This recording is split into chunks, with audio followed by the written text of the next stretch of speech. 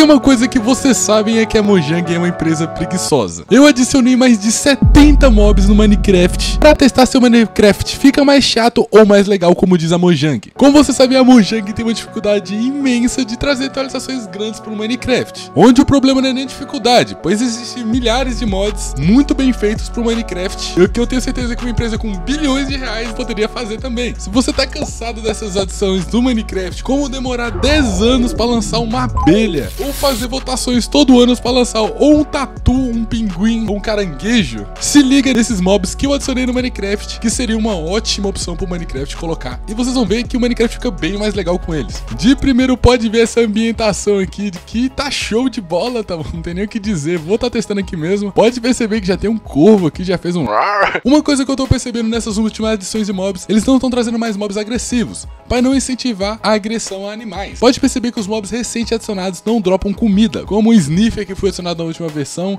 e a maioria dos outros que eles adicionaram recentemente. Acho que de carne mesmo é a ovelha, a vaca, o porco, a galinha, o coelho, os peixes. Eles não adicionam muito mobs para você ter que matar eles, porque querendo ou não, Minecraft ainda é um jogo family friend, é um jogo livre. Então não pode incentivar pessoas a matarem animais, né? Então bora começar a testar aqui para ver se é uma boa ideia ou não adicionar esses mobs no Minecraft. Vamos começar aqui com o urso, que como eu disse para vocês, olha isso. Ele seria um ótimo animal para colocar nas florestas de pinheiro do Minecraft, que é um lugar meio vazio, né? Sem muita coisa. Foi por agora que eles adicionaram a raposa lá na selva de pinheiros. Então o urso seria uma opção muito legal para colocar lá. Ver a segunda. Ah, é um passarinho. Esses passarinhos são muito legais pelos efeitos sonoros dele. Ah, ele tá com medo. Eu não sei se nem se é um passarinho que existe na vida real. Então deixa eu ver isso aqui.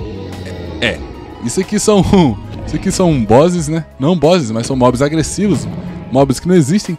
Aqui a gente tem um cervo, é um, um gazelle, um, ga, um gazelle que, mas acho que não é, parece um Bambi. Nossa, ele corre. Aqui a gente tem crocodilos, que é uma adição muito legal pra colocar nos pântanos. Porque o Minecraft dá pra sentir uma falta de mobs agressivos de dia. Então, um crocodilo, deixa eu ver se ele é agressivo. Hum, provavelmente acho que ele deve ser, né? Tá.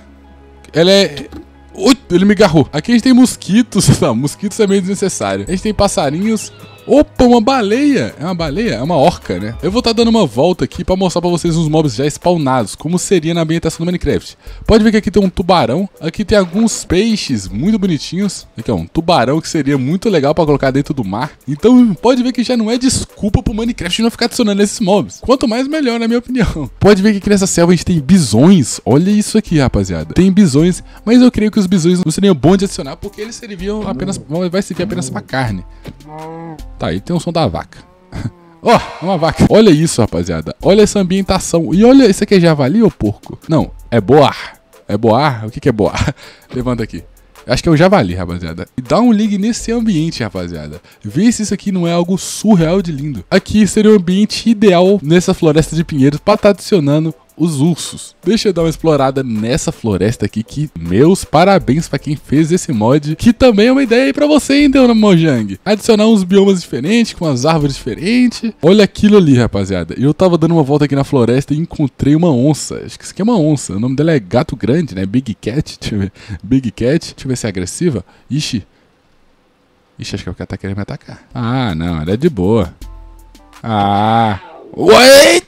É até triste depois de dar a volta nesses biomas voltar pra essa ambientação do Minecraft original aqui, que não tem muita coisa pra se fazer. Ah, rapaziada, nesse vídeo eu usei o Alex Mods, que é onde adiciona uma ambientação muito grande, adiciona efeitos sonoros pros mobs e também adiciona os muitos mobs que eu mostrei pra vocês. Olha ali embaixo, tem um guaxinim ali, ó.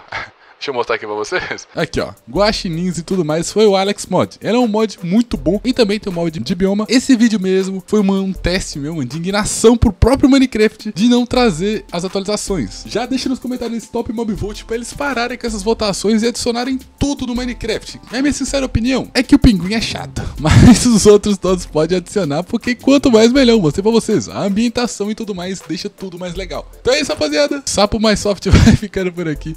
Vejo vocês no próximo vídeo. Se você gostou desse vídeo, deixa o like aí agora. Já se inscreve que a gente posta shorts e vídeos todos os dias aqui no perfil. E é isso, gente. Fica com Deus e até amanhã.